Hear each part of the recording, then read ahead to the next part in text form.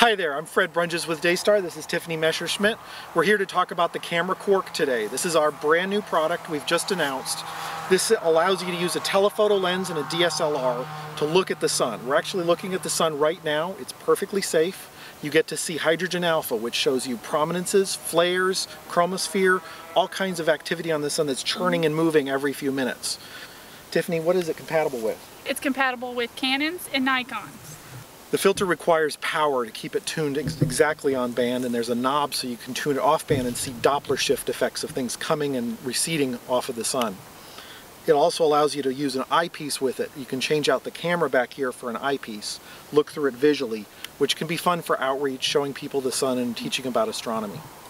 I can use the lens's zoom and focus controls just like I would with the camera running, even if it, there's an eyepiece on the back.